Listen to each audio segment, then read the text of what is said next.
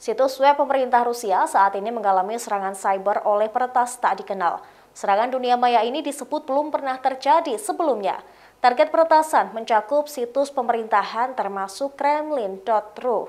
Hal tersebut diumumkan Kementerian Digital Rusia seperti dikutip dari kantor berita Rusia TASS pada Kamis 17 Maret. Situs pemerintahan lain juga jadi target peretasan seperti Aeroflot, Cyberbank, dan lainnya. Sementara kementerian tidak menyebut tersangka potensial di balik dugaan serangan ini.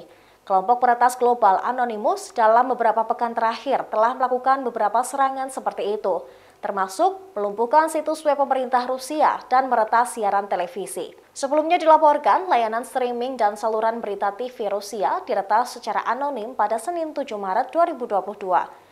Peretasan itu menampilkan cuplikan perang negara Rusia dengan Ukraina di tengah tindakan keras terhadap informasi oleh pemerintah Vladimir Putin. Menurut Jeremiah Fowler, salah satu pendiri perusahaan keamanan cyber, yaitu Security Discovery, dari 100 database Rusia yang dianalisis, 92 telah dikompromikan. Akun Twitter bernama @yourunknownnews juga mengklaim telah meretas stasiun TV pemerintah Rusia Akun tersebut juga mengklaim telah mengganggu situs web organisasi dan agensi media besar Rusia, seperti perusahaan energi Gazprom dan RT, kantor berita yang disponsori negara tersebut.